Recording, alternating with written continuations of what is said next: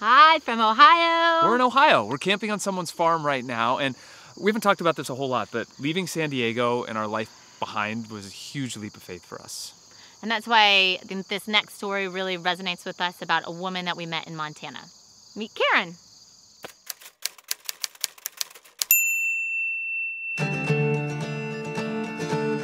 It was a big leap of faith. Surreal. You can't really explain it. You know, it really takes people back in time. We are at Gunslinger Gulch in Anaconda, Montana. We live in the church up at the top of the hill. I live in a church, yes. a haunted, spooky church. they are original. They were all salvaged from demo. I believe the oldest one dates back to 1856. They were picked up in a whole entirety and moved out here. When you come up here, it feels like you're back in that era.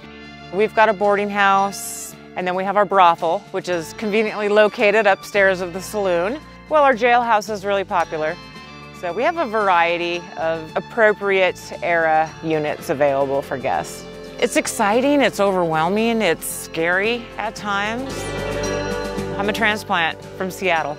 Drove out to take a look at it and basically went back home and told the kids we're moving to Montana.